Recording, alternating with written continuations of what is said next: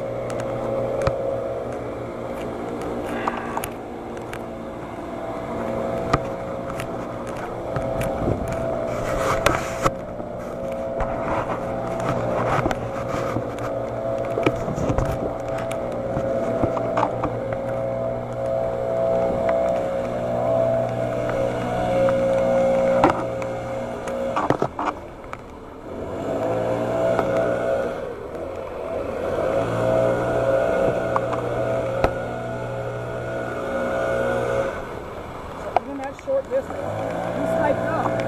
Harnessing the momentum.